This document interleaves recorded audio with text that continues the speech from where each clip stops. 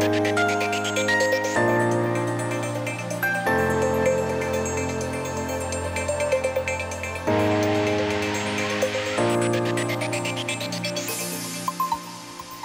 وإلى أحوال الطقس حيث يتوقع خبراء هيئة الأرصاد الجوية أن يسود غدا السبت طقس حار نهارا على القاهرة الكبرى والوجه البحري وجنوب سيناء وجنوب البلاد. مائل للدفء على السواحل الشمالية مائل للبرودة ليلا على أغلب الأنحاء. وفيما يلي بيان بدرجة الحرارة المتوقعة غدا على محافظات ومدن الجمهورية وعدد من العواصم والمدن العربية والعالمية.